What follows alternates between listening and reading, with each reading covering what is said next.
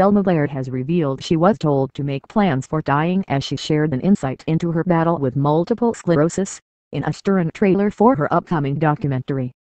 Introducing Selma Blair will chart the actress' journey following her MS diagnosis and treatment, as she undergoes a stem cell transplant to hopefully help her improve, as well as chemotherapy.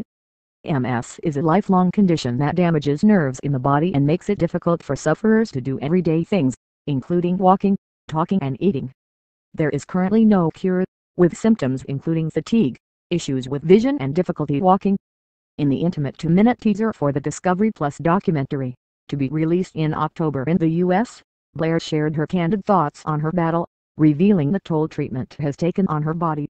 She said, I would like it to be as dramatic as I am. I was told to make plans for dying. Not cause I have MS, because I'm fighting MS. Blair, who shared her diagnosis with the illness in 2018, was seen in the clip going between cracking irreverent jokes to struggling to walk and climb the stairs. In an emotional scene, she says on the phone, you know how you called me maudlin before. You ain't seen nothing yet. In another, the Legally Blonde star was seen lying on the floor as she joked, I'm trying to look dead for a dramatic ending. Revealing her diagnosis, Blair said she had been suffering with flare UPS since the birth of her son in 2011 and initially struggled to get doctors to take notice, but was finally diagnosed following an MRI scan seven years later after 20 milliseconds related lesions were found on her brain.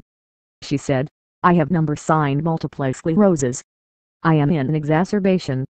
By the grace of the Lord, and willpower and the understanding producers at Netflix, I have a job. A wonderful job. I am disabled. I fall sometimes. I drop things, she said on Instagram at the time. My memory is foggy. And my left side is asking for directions from a broken GPS. But we are doing it. And I laugh and I don't know exactly what I will do precisely but I will do my best. I have probably had this incurable disease for 15 years at least. And I am relieved to at least know. And share sick Earlier this week Blair shared her support for her The Sweetest Thing co-star Christina Applegate who revealed she had been diagnosed with the illness. The Dead to Me and Friends actress shared her news on social media, explaining that it has been a strange journey. Hi friends.